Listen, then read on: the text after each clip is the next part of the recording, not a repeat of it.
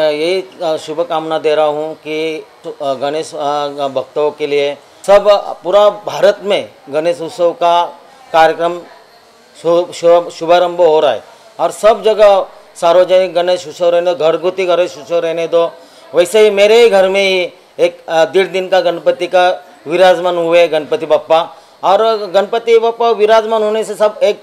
कुटुंब अपने साथ में आते हैं और बहुत पूरा रात में जाग के गाना गाते हैं, सब पकवान पक, बनते हैं घर में, और अपना घर के सब सदस्य एक साथ में आके सब दुख सुख भूल जाते हैं और सब खुशी मनाते हैं। क्योंकि ये ऐसा कार्यक्रम बहुत जो लोकमान्य तिलक ने जो आपने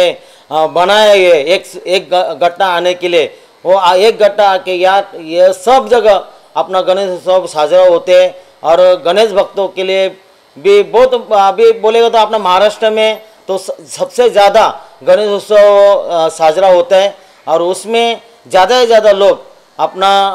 सुख दुख भूल के गणेश में विलीन होते हैं। मैं पूरा नवी मुंबईकर को, मेरे तरफ़ से और मेरे कुटुंब में तरफ़ से गणेश उत्सव की शुभकामना देता हूँ और मेरे वार्ड के प्रभाग दस में जो भी मेरे सब मेरे कार्यकर्ते और मेरे जो,